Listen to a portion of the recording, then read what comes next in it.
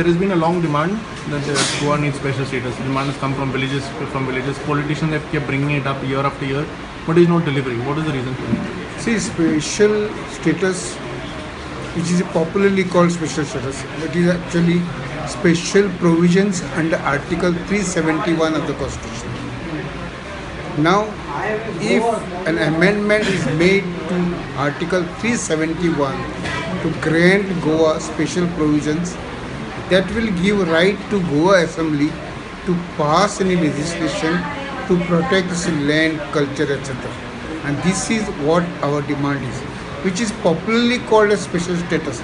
There is no word called special status in the Constitution. What is there is special provision under Article 371.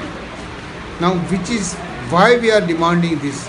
Because today people from other part of the country they come and Russians, Israelis, they come in guise and do business in Goa by finding some loopholes in the acts.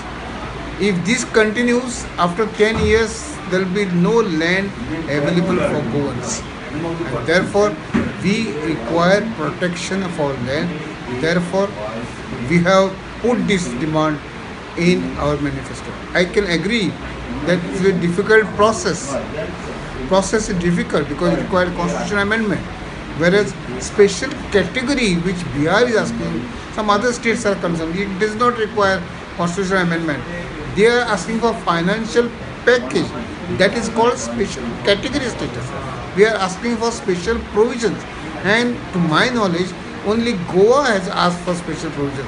No other state has asked for special provision. Therefore, hopefully that our demand will be considered by the central government. But the demand has also come up during the Congress's tenure in Goa. But why, why hasn't the centre been able to fulfill? So that's see, we don't we require a lot of majority. That sort of majority we don't have. In case we get a substantial average majority, I don't say two third, then we can approach the other political parties for the purpose of this. And one thing, I, I, I let me be very frank. Nobody from outside will be in our favor because everybody would like to have some plot of land in Goa. We'll be depriving them of this. So nobody will come in our support. That is also I, I can understand.